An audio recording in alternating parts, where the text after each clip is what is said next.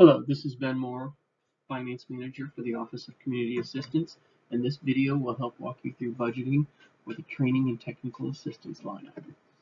Uh, the line item covered in this video will be 402, which is Training and Technical Assistance. The costs outlined in this video address what can be budgeted with the Training and Technical Assistance allocation assigned to only these grants, CSBG, DOE, and the HHS Weatherization Grant. Since each uh, grant has separate requirements, we will address them each separately. For the CSBG grant, the costs that can be included in this line item include registration fees to attend training events or conferences, travel expenses not to exceed federal rates, to attend conferences, um, the lodging, the per diem, the mileage, the transportation, etc. The cost of consultants hired to conduct training and cost for training materials. For CSBG, the entire allocation must be budgeted on line 402, which is the TNTA line. The excess of training and related travel amounts above the allocated TNTA amount should be budgeted on uh, the, the following lines. For travel, uh, which includes lodging, per diem, and transportation to conferences or trainings only, uh, those should be budgeted, that excess should be budgeted on lines 103 or 303 accordingly. For consultant costs uh, hired to train staff, those should be uh, budgeted on 107 or 307 if uh, the cost is too much to be accommodated by the TNTA budget. Uh, likewise, training and education, which includes registration fees and training materials only, uh, that, that excess should be budgeted to lines 112 or 312. Please note that these remaining costs must be divided between the 100 and 300 line items based on if the staff are paid from program support or administration. Uh, do not include non-training related travel. Uh, for example, travel between the main office and the outreach sites. That should not be budgeted in TNTA. It should be budgeted in the regular travel lines do not include salaries and fringe. Salaries and fringe must be budgeted in personnel 101 or 301 and fringe 102 and 302. Also, do not include food costs for staff training.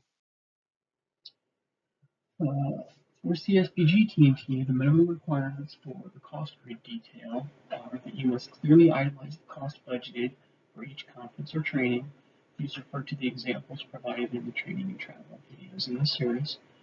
The minimum requirements for the narrative section are that you must list individual conferences or trainings budgeted and the number of staff attending each. You need to provide registration fees, lodging, per diem, and transportation costs per person for each conference or training.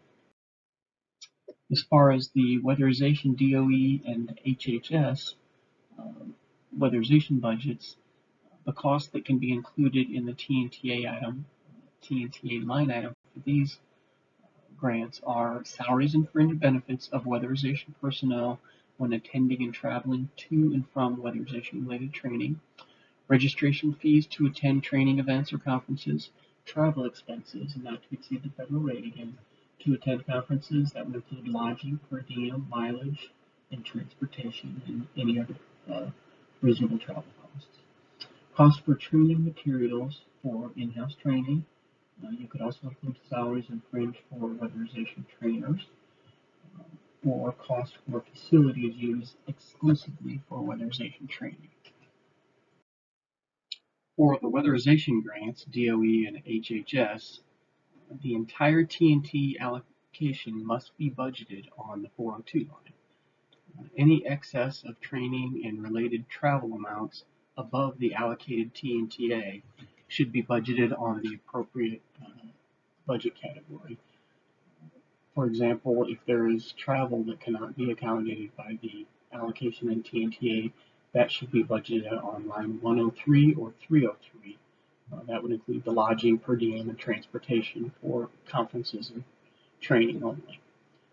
For training and education costs that can't be accommodated by the TNTA line, those should be budgeted in line 112 or 312, uh, and that would include registration fees and training materials only.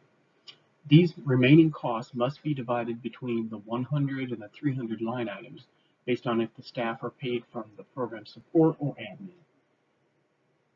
One thing to remember is that you should not include non-training related travel on the TNTA line item. For example, travel between the main office and outreach sites should not be budgeted in the TNTA line. For the weatherization uh, grants, DOE and HHS, the TNTA budget line item, the minimum requirements for the cost grid detail would be that you need to clearly itemize the cost budgeted for each conference or training. Uh, please refer to the examples of these provided in the travel and training videos that are also available in this series. The minimum requirements for the narrative section of the TNTA tab are that you need to list the individual conferences or trainings budgeted and the number of staff attending each. Provide registration fees, lodging, per diem, and transportation costs per person for each conference or training. That concludes this uh, video on the TNTA budget line item. Uh, please remember that there are separate videos available as guides to completing each of the individual cost tabs in the budget spreadsheet. Thank you for watching.